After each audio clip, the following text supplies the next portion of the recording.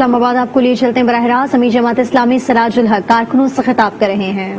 سات سو لوگوں کو بلا کر ان سے پوچھا جائے کہ آپ لوگوں نے یہ ارب ہا دولت کہاں کمائی تھی اور کیوں یہاں کما کر آپ نے وہ دولت افشور کمپنیوں میں چھپائی تھی؟ شرم کی بات ہے۔ غریب پاکستانی باہر کما کر ادھر بیچتا ہے اور یہ ظالم چور لٹیرے لوٹ کر باہر بیچ رہے ہیں۔ تمہاری غربت ان لوگوں کی وجہ سے ہے۔ میں دعوے کے ساتھ کہہ سکتا ہوں کہ پاکستان کے سیاستدانوں کی دولت، پاکستان کے بیوروکریٹوں کی دولت، پاکستان کے سابق ججز کی دولت، پاکستان کے سابق جرنیلوں کی دولت۔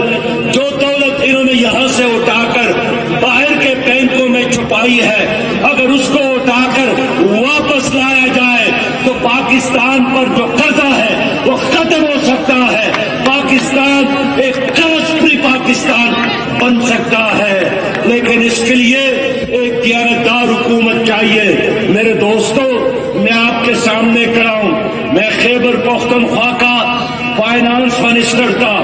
متحدہ مجلس عمل کی حکومت میں اللہ کے فضل اور شکر کے ساتھ کہنا چاہتا ہوں کہ میں نے تین سالوں میں اپنی صبح کو قرض فری صبح بنایا تھا۔ اور آج بھی اگر اختیار جماعت اسلامی کو دیا جائے، قوم اعتماد کرے، تو ہم پاکستان کو ایک قرض فری پاکستان اور ایک کرپشن فری پاکستان بنا سکتے ہیں۔ میرے ساتھ دیانتدار لوگ ہیں۔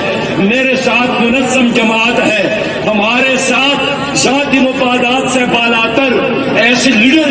یہاں پر آپ کو بتائیں کہ اسلام آباد میں امیر جماعت اسلامی سراج اللہ اس پر کارکنوں سے خطاب کر رہے ہیں، جس کا کچھ حصہ آپ نے ملاحظہ کیا۔